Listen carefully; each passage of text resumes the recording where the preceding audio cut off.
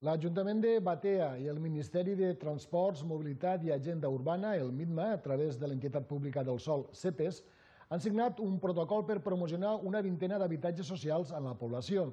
D'esta manera es pretén ampliar l'oferta de lloguer assequible al municipi i lluitar contra el despoblament rural.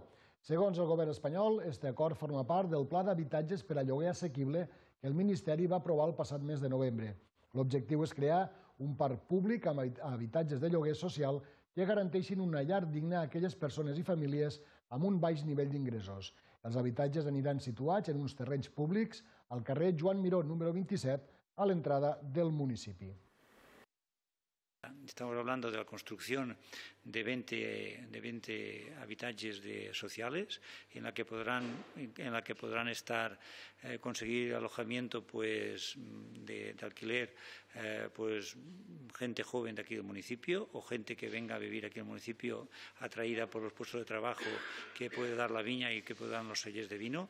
Es muy importante no solamente para el pueblo de Batea, que es, también es muy importante para, la, para lo que es la comarca, porque es una comarca que se necesita de inversión pública, de inversión que garantice el futuro. Hay que propiciar condiciones óptimas, eh, adecuadas para que los ciudadanos quieran venir a vivir a Batea o para que no se vayan de Batea. Creo que promociones como esta cumple ese primer objetivo. Y el segundo de ellos es que, como bien ha comentado también, no solamente queremos que la gente venga, sino que los jóvenes se queden, que los jóvenes no se vayan.